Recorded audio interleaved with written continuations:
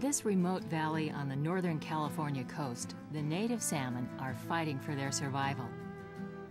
Careless logging after World War II stripped the steep hills of their forest cover. This upset the ecological balance that had supported the salmon for thousands of years. In the 1970s, a wave of new settlers came to the Mattole Valley. These idealistic homesteaders were shocked to find that the native salmon were nearly extinct. Instead of accepting this, they decided to take action. At first, they tried restoring the streams where the salmon spawn, but the erosion continued. They soon realized that salmon don't just live in streams, they live in watersheds. Restoration work reconnected these people with the natural world and awakened within them a sense of belonging to a particular place. Here is the story of how one community has learned to think like a watershed.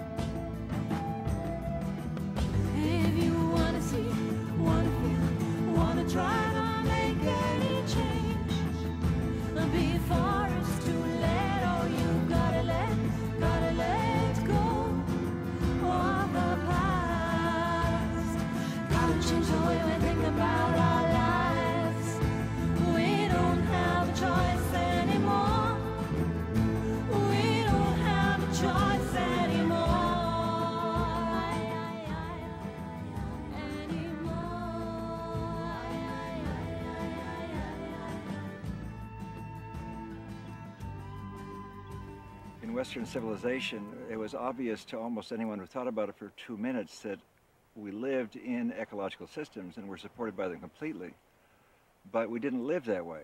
When we extended our identity, we didn't extend them to the living systems of the planet, but rather to our families, our property, our uh, nations, our states, our basketball teams, whatever. You can talk about the living biosphere, but there are very few people, I think, who can actually hold all that in their mind.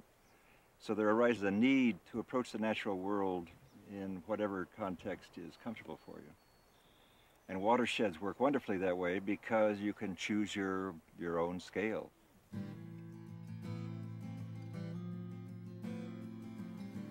The focus on fish was really a way to broaden interest and involvement in the community. Pretty much everybody can relate to fish. Nobody could deny that the salmon were disappearing, and everybody wanted to, something to be done about it. And there was a core of people here who were willing to take on this, uh, the, the fact that the system that they were closest to was had some had some grievous wounds in it, and see what they could do about it, both through direct projects and through uh, uh, living their own individual lives and with each other.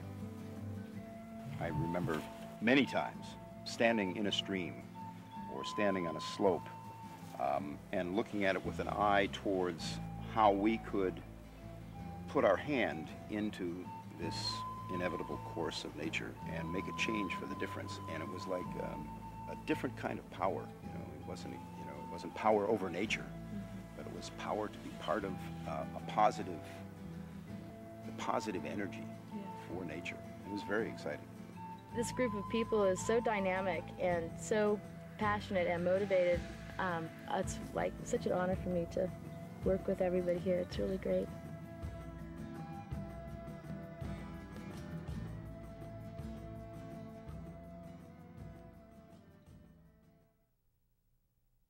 When I was a kid, I remember taking a pitchfork and going down in the river and fishing out one or two. And in the first run of the salmon in the fall, you could always take out two or three salmon with a spear or a pitchfork because there were so many of them coming up the river those days.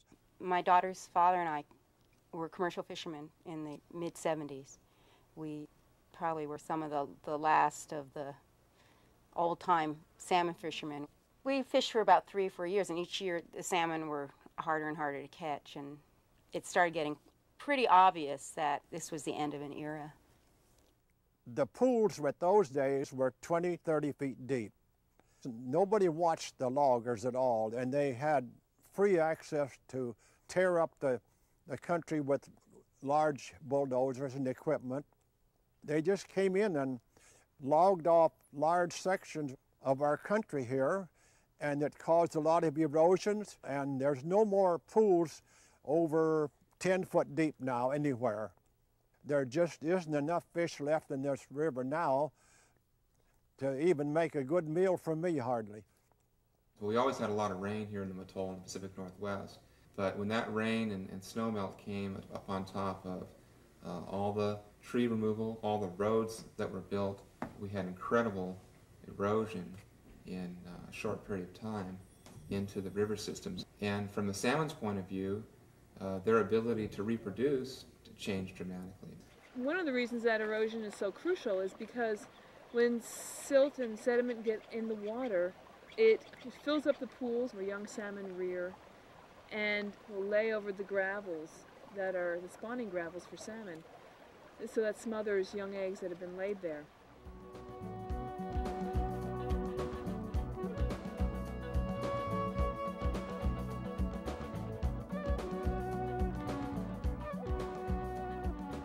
People started migrating to Humboldt County back in the late 60s. It really was a migration of people out of the city by, by the thousands. You know, people were looking for quiet, beautiful places to retreat from the increasing warfare that was urban society and to raise their kids in decent places and perhaps to be part of a community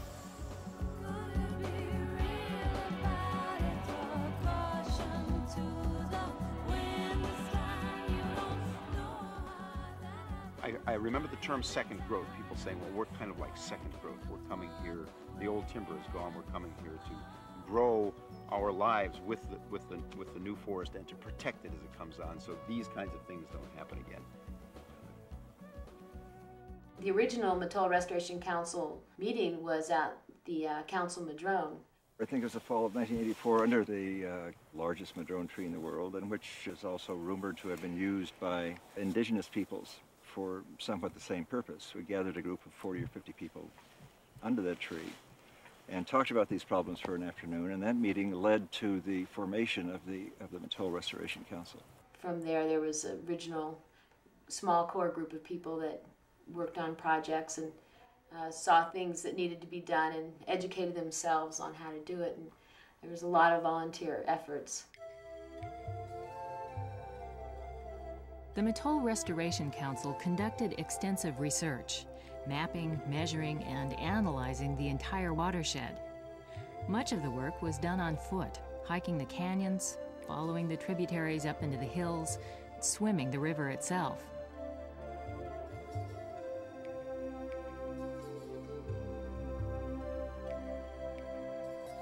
Getting to know the watershed in this intimate way enhanced their sense of connection to their home.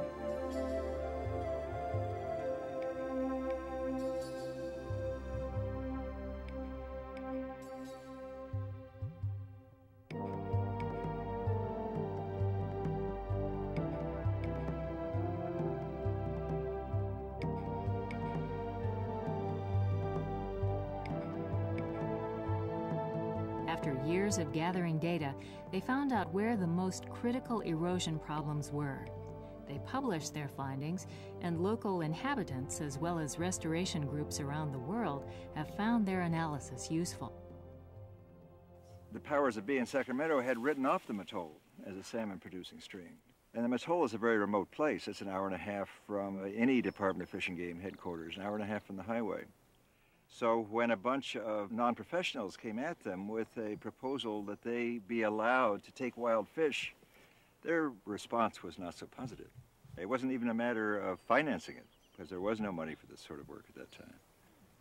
The Mattole Salmon Group was the first citizen-based organization in the state of California to use these small-scale hatch boxes for the purpose of native salmon stock enhancement. Here he comes. oh, hold it down, Morgan. Hold it down. Atta boy. A little washing machine happening here. The female is much more rounded and pre pregnant looking. Because of the eggs? Because of the eggs. The tail is uh, a little more abraded here. That would be an indication to me that that she's probably a little closer to ripeness. I would say a couple, three days away on this fish.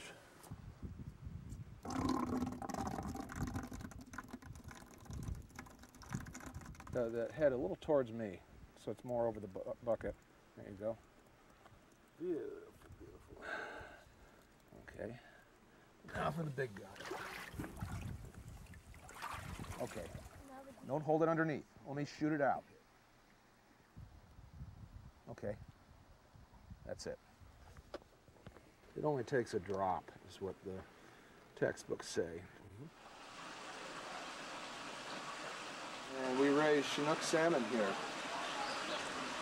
Progeny of adults that we trap several miles downstream during the winter spawn out, hatch the eggs here, and raise the fish up to about three inches long for spring release. Before we release the fish, we mark the fish using a right maxillary clip, which forms part of the upper jaw on the outside of the fish. Doesn't appear to impair the feeding or swimming of the fish, and if they return as adults and we happen to catch a few or see them on the spawning grounds, it can be identified.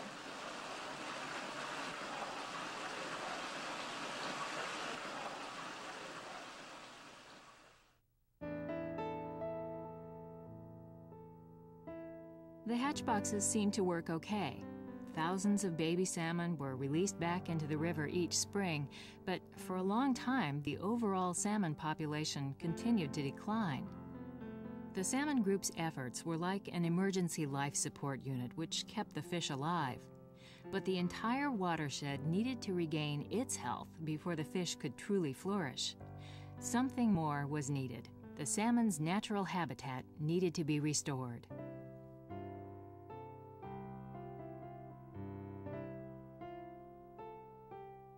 It became clear early on that the steep hills needed to be reforested to prevent more soil erosion. The soil bankers, along with the salmon group, focused directly on one component of restoring the entire watershed. The soil bankers have planted more than 300,000 seedlings since 1986. Um, we put together a cooperative to do all sorts of restoration work. Mostly, what we've ended up uh, focusing on is is planting trees, and we do it a little bit differently than is done on the wider industrial scale.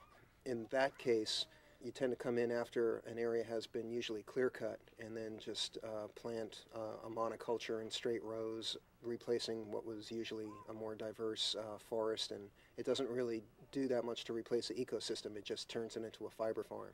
The difference is that uh, we're mostly coming into areas not right after they've been logged, but maybe 20, 30, 40 years later, where the ownership has changed hands and uh, the area never really came back to the stocking that it was previous to being logged. And so we try to restore the conifer component for the most part to uh, these areas. Uh, mostly we plant Douglas fir around here. You know, we feel like the best idea is to replace what was there previously rather than doing a lot of ecological tinkering. We're here to help. We're here to help.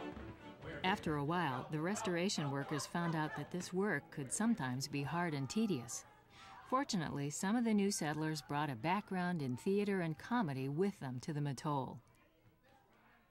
Queen Salmon really was many, many, many years in the making, and songs from it um, appeared on the Fish Trap. I'm the queen of the queen of the river. And it was a form of, you know, entertainment on cold nights. This play, with a cast of local actors, successfully toured the Pacific Northwest in the early 90s.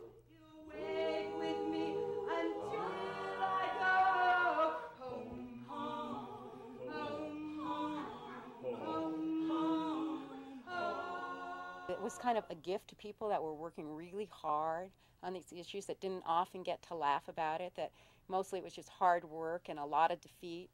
The beauty of Queen Salmon was that it pointed fun at everyone. No one was free of blame. If I I didn't know better, I'd say none of you share any responsibility for the salmon disappearing.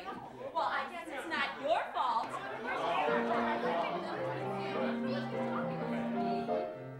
It's not my fault I didn't do it. The salmon just up and disappeared. It's not my fault I didn't do it. I must have been busy that year. You know, I, I think that the combination of education and entertainment really worked. And I think the audiences went away with a lot a lot to think about, a lot to talk about, hopefully, a lot to do.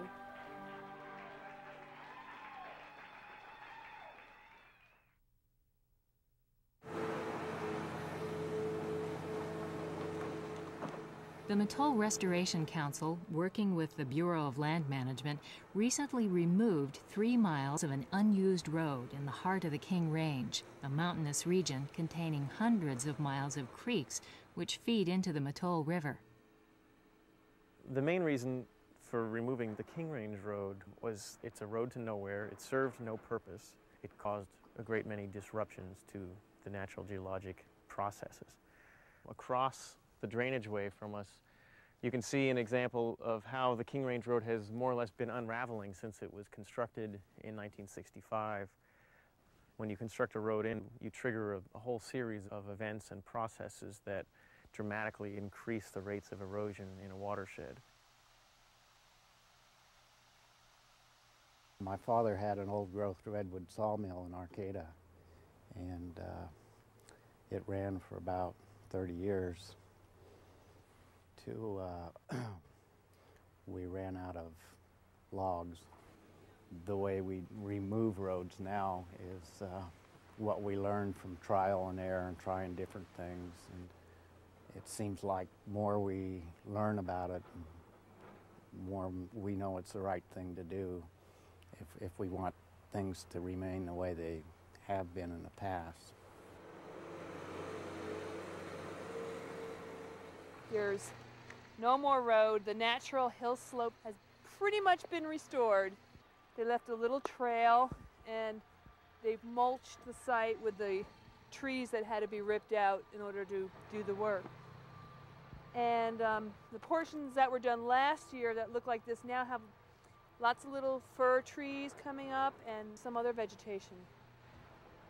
So I really think in not too many years it's going to be hard to even tell that this was a road. An important part of the restoration work has been to preserve what was left of the old growth forests. These ancient forests provide a stable ecosystem on the steep hills, which prevent soil erosion. Their thick topsoil also acts like a sponge, which holds water from the winter rains and slowly releases it into the dry summer months. By the mid 80s, the public was beginning to understand that the forests of North America were diminished much more than they had realized.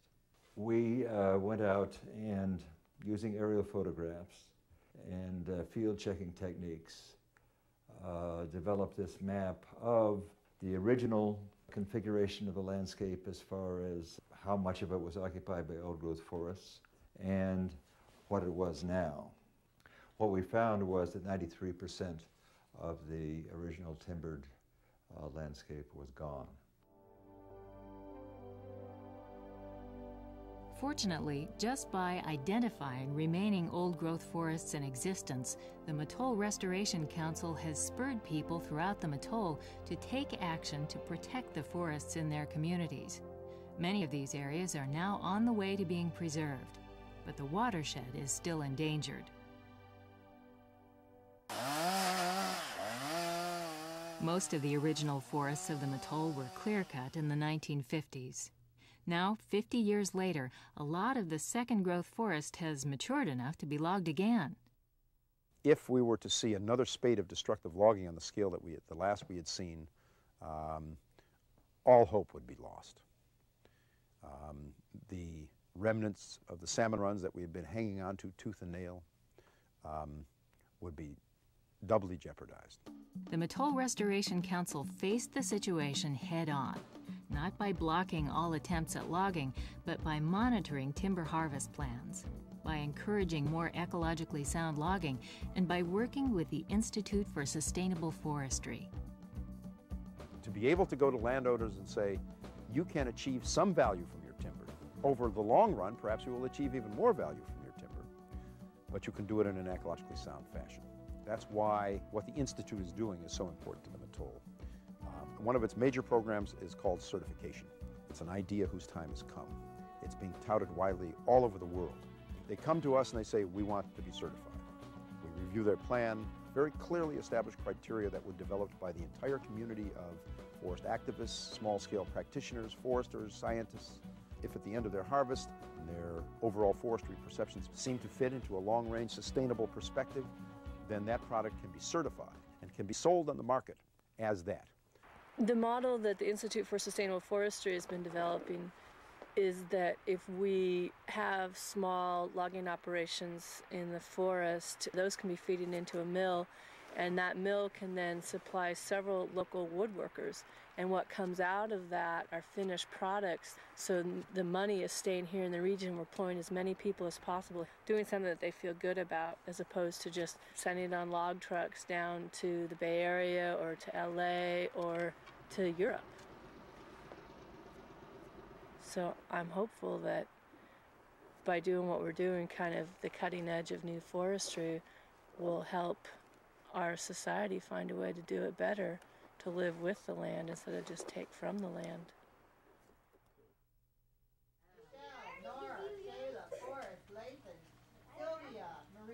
Working with especially the younger people is one of the rare instances where you're able to get almost instant feedback and some gratification that what you're doing is having an effect.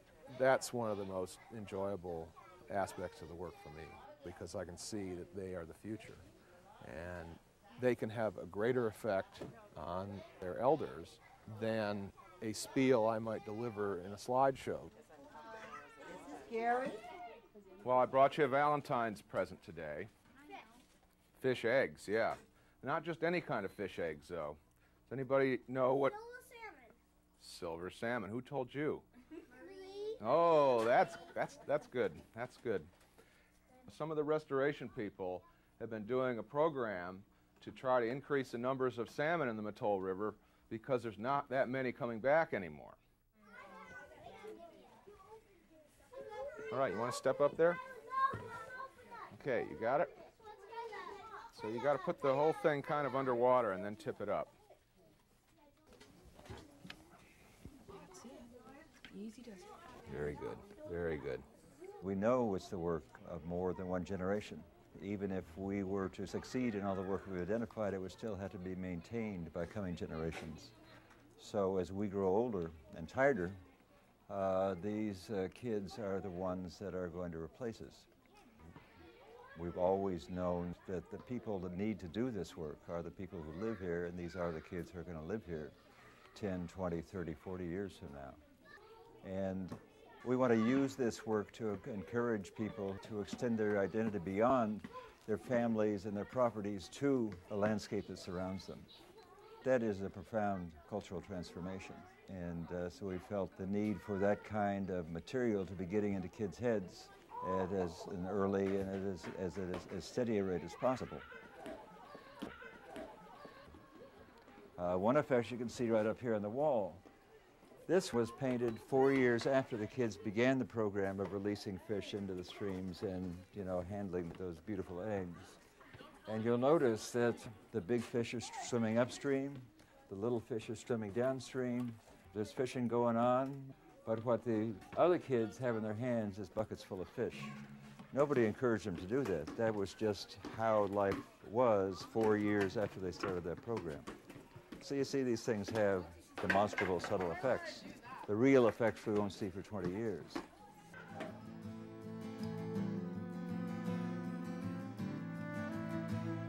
The restoration of the Mattole watershed has been a long, hard journey, which has really only just begun. The native salmon have survived and show signs of a comeback. Large areas of old growth forests have been preserved.